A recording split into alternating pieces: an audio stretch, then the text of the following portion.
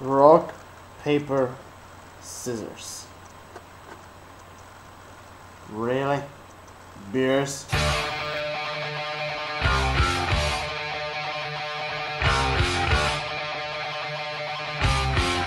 So other episode actually, you know, was really quite simple, okay? The first part, you know, was really actually a quick one. Like, for example, like, you know, in the perfect time, you know, perfect time like it was in the Battle of Gods movie, you know, the first time, you know, was the, the you know, the Wrath of Vegeta. So, you know, short advice for all future villains of Dragon. If any of you try to hurt Bulma, or, you know, even if you try to invade Earth, trying to conquer it, destroy it, whatever, if you try to do something to, to Bulma, you will face Vegeta's wrath. In a really, really hurtful way. Permanently. So, like I said, the first part was, you know, Vegeta and Beerus, and in a much furious, much more excited way, like it was in Battle of Gods.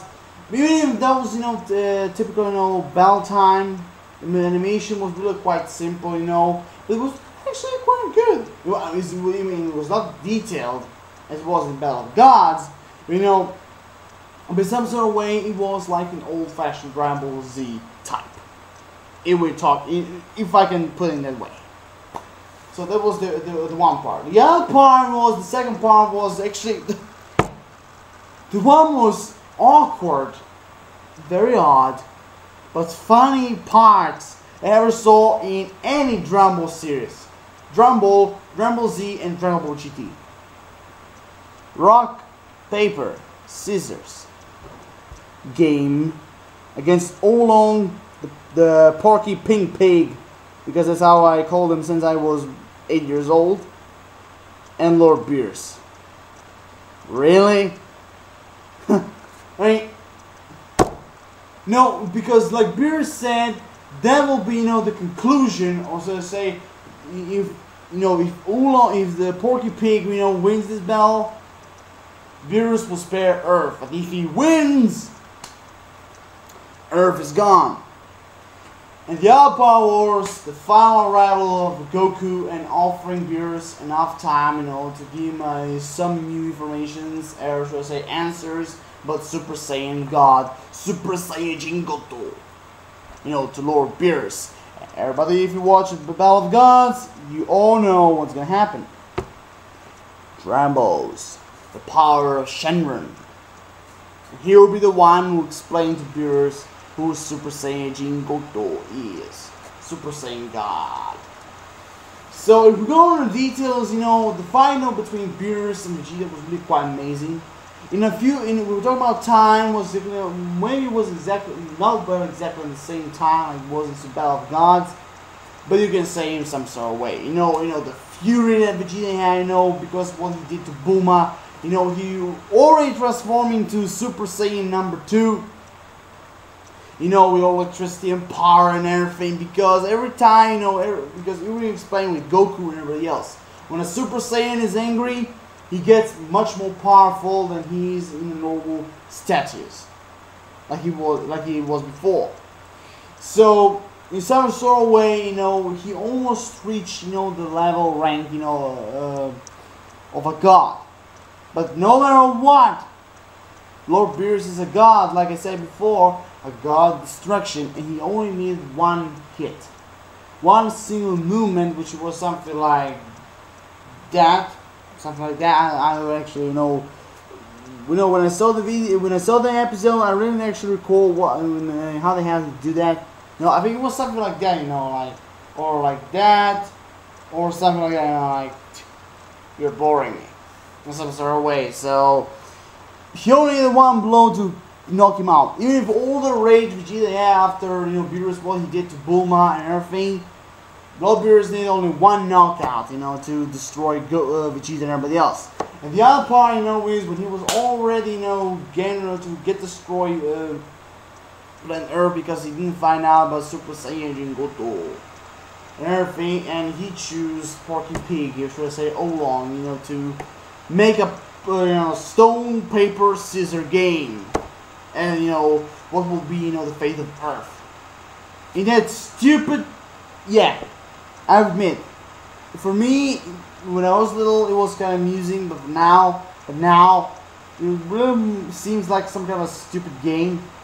You know, mean, you know, like when you're talking about when you're doing a game like that into a normal person, it's funny and amusing. But when we're doing it to a god, it's really actually stupid and odd. Even for me, it was really kind of shocking that Lord Beerus know, knew this game. So the only Earthlings will know. Even if he go, if he's got destruction and lives on another different planet, another you know uh, destination of the universe. Really quite odd.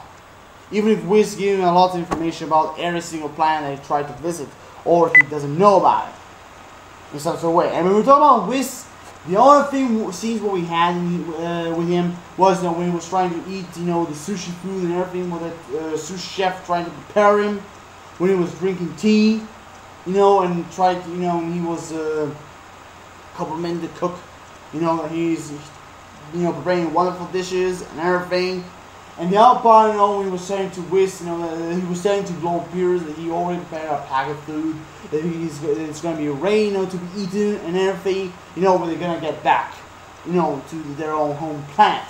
Even before, you know, when Beerus trying to destroy the, the Earth, before Goku arrived. And we're talking about, you know, in the meal time, three times they, you know, three times uh, battling. Two times were equal. Both them scissors. The next time, he put rock, Lord Beerus put the rock, and Oolong scissors. And if you already know the game, rock beats the scissors by crushing them. In some sort of way, Oolong lose again, but like all you know the way in Dragon Ball Universe he always did. Because if you remember, you only have two categories where you can put Oolong in the Dragon Ball universe. How I call him Pig. You know, that's how I talk, you know, I say about him and when I'm, you know, since I was eight. First time I watched Dragon Ball. Watched. Number one, Pervert Universe. Number two, Cowardness. Because far like everybody watched Rambo and Rambo Z and Rambo GT, everybody knows he's a total 100% coward. If he was a champion of cowardness, he'll be number numero uno. He'll be the champion. And the other part is like Master Roshi, pervert. Those are the only two categories where you can take, you know. Courage, nothing. Wise, nada. Tactician, zero. Nothing. Only two categories. What I, what I learned watching Dragon Universe and watching even him. So, you know, oh yeah, the third part, stupidity. Those are the only three categories you're going to put this Porky Pig. Dragon Universe Porky Pig. So that was the second part, and we were also quite amazing. What amazing, mostly funny and awkward you know, when they play this game, you know, Beerus and Pork and should I say Oolong. Because like Beerus said, remind him remind him of Majin Buu, not only because, you know, because you can see Oolong is a pig. Majin Buu is totally jelly pink stuff created by Bibidi. And they're different. The only thing that are really are in common is their color. The skin color. Pink. That's the only that's the only thing. So that was the second part. And it was really not quite amusing, should I say much more funny and awkward in a almost, you know, all the time. You know, playing the game between a god and an old mortal, even if he is a pig. It was really quite entertaining. It was entertaining, really, actually. Really entertaining. You know? And the other part, I know, was simple. Kakarot arrived there, saving the day, trying to persuade Lord Beerus not to destroy the world, and of course what he offers an ultimate way to find out a bit more about Super Saiyan God, Super Saiyan God, Power Shenron, the Dragon Balls. Which also, when we talk about Dragon Balls, I probably forgot to mention one single part, know, when you see in the cruise ship, and Emperor Pilaf, the amazing Pilaf Sama, you know, with his henchmen, you know, trying, to, you know, with a little lifeboat, you know, I should say, yeah, lifeboat some sort of way, you know, trying to escape, you know, from the brambles and everything, and we're trying to argue, and they forgot, you know, to put all the food inside, you know, trying to save their lives, save their asses and everything, and of course, they were trying to suggest that they, they have to go back to find the Dragon Balls, because, like, you know, the Dragon Balls detector, well, the Pilaf, the Pilaf hat, Dragon Balls in the ship, and we, and they have to find them. So it was one single part. Even it actually was a small part, you know, small scene. This episode was really quite amazing. So, like I said, here I am done because like the end of the episode was Goku right there trying to persuade Lord Beerus, you know, to give him a chance to find out much more about Super Saiyan God, and the answer is Dragon Balls. Because everybody, if you watch, if you watch the Battle of Gods, you know what I'm talking about. So, like I said, I'm done. Rate the video, comment, subscribe, give me some what you personally think about this episode.